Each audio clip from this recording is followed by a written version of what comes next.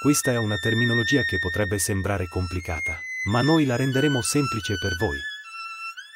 I contributi figurativi sono fondamentali per la tua pensione.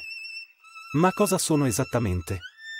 Sono periodi che, pur non essendo lavorativi, vengono considerati ai fini della pensione. È molto importante capire che i contributi figurativi non sono contributi reali, ma vengono comunque riconosciuti dal sistema previdenziale. Maturano in diversi modi. Uno dei più comuni è durante il servizio militare.